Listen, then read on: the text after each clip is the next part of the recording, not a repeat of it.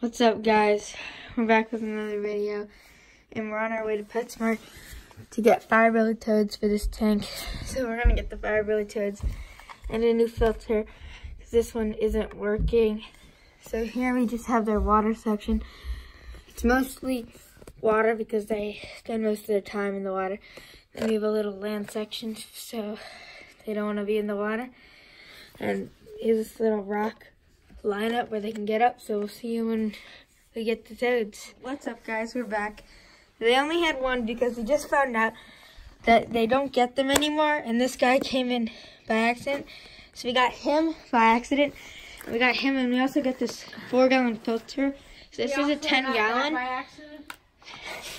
so this is 10 gallon, but there's not 10 gallons of water. So there's no point in getting overly sized filter, and Fire Belly toads don't like too much flow. So that's the filter. While he's getting the filter, I'm gonna put this little guy in his new home. So he was by himself because they, like I said, they don't get him anymore. He's Yes, this is a pet rescue. he's he's very fat. So I'm just gonna take the lid off. If it's even possible. Get one good look at him. He's very fat. So Hey! they're feeding him.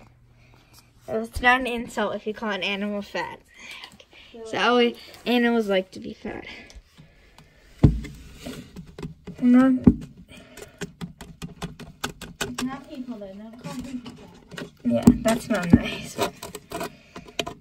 So I'm just gonna, not gonna touch him because, well, they're amphibians and they absorb, they absorb the stuff through their skin. So I'm just gonna gently get him in. As you can see, he's, he's very fat. He or she is very fat. So he's he's in his new home. Guys, it's vibrating.